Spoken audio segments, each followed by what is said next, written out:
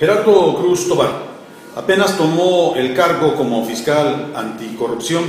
y de inmediato tiene que atender una investigación para tratar de determinar de qué monto es el cochinero que le dejaron en la Secretaría de Salud por parte de Antonio Cruces Mada, el anterior secretario de Salud.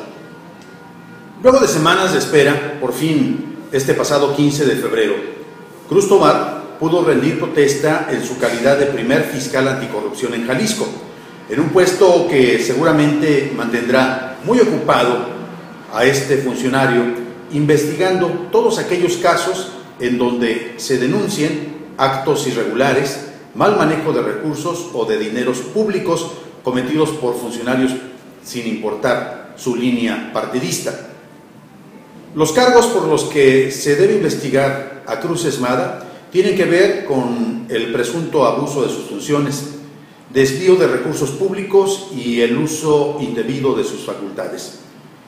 A su salida del cargo, lo primero que se comprobó es que la Secretaría de Salud arrastraba deudas por más de 2 mil millones de pesos.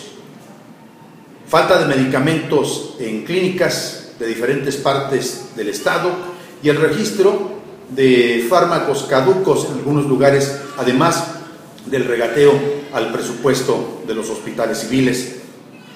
Cruz Esmada, quien supuestamente se retiró para contender por la alcaldía de Zapopan por el PRI, enfrenta el mismo mal que afectó a Alfonso Carranza, conocido como el doctor Carnitas, otro exsecretario quien fue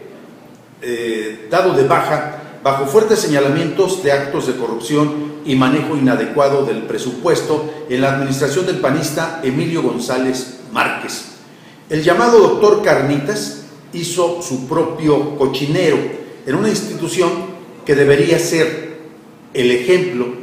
del manejo pulcro como lo es la Secretaría de Salud en nuestra entidad.